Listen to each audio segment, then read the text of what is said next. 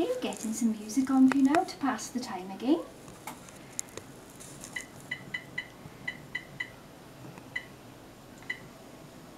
Okay, so now I've changed the patient's position, I need to tell the magnet that we've changed orientation. So we'll change it to standing up. The, my little figure on the screen corresponds with the patient in the scanner. And then I'm ready to go. Carol Ann, the window looks a bit strange. looks dark because it's like double two-way, Yeah, single-way mirror or something. The window is actually a Faraday cage. So all MRI scanners live in cages, which are called Faraday cages. Uh, the main reason for that appearance is to stop the magnetic waves getting into us here and from any extraneous um, magnetic waves from mobile phones, things like that, from getting in from this area into the magnetic field. So we don't want any interference with the images. So that's a Faraday cage. Great, thank you.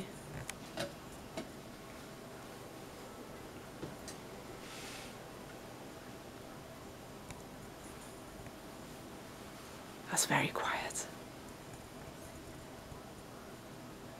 I can make it louder if you want.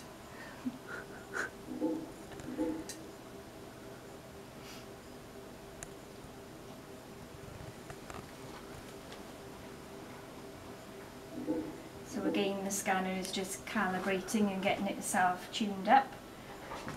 It still has three gradient coils like a normal MRI scanner in each direction. So it's just warming those up, working out which direction the patient is in.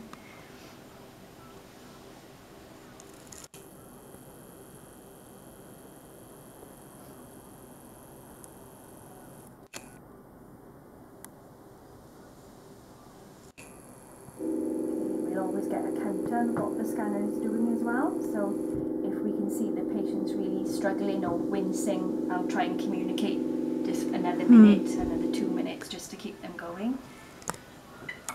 Okay, checking that position now. So I've got scout images again. Great.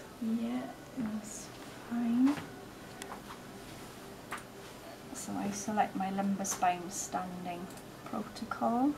So how much quicker is the standing MRI? It's about half the time. Right. So we want we appreciate that um, the patient's not really in their most comfortable position now.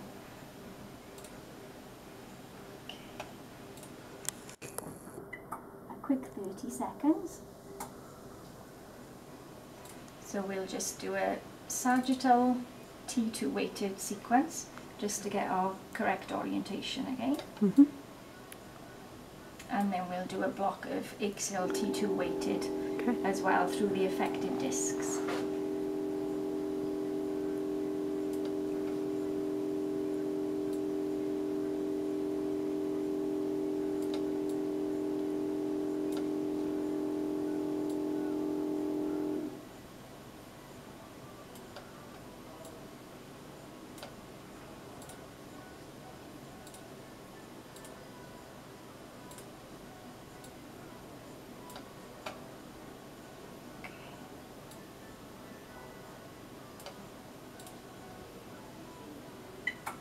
Okay, two and a half minute scan now, ever so still there for me, no dancing to the music.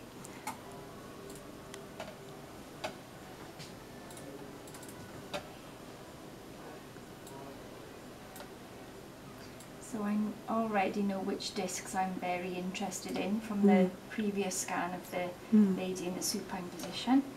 So whilst this scan is running, I'm trying to get as, as far set up as I can without seeing the actual Mm. images, just to save time.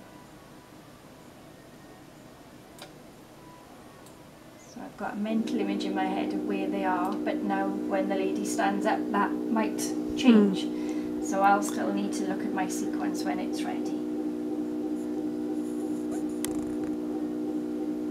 We always try and let the patient know what we're about to do, how many sequences, roughly how long they are, just to sort of keep them going because if you just stand there and you're not sure how many sequences you're doing and how long everything's going to take, Mm.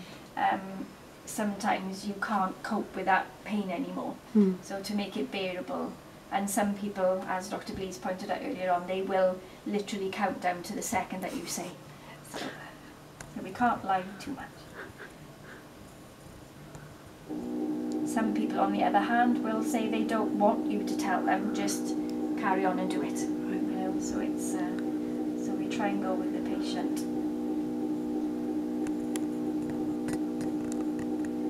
It is lovely to see though the lady I scanned this morning. She went in, she was so nervous, and after the first lumbar spine, we put her back in for a knee examination, and after every sequence, she was smiling, giving me a thumbs up. So it's uh, that's nice to get that feedback then. And I think it helps when you are looking at the patient all the time. It's odd from my point of view as a radiographer looking at the patient all the time Mm. and when they're looking at you.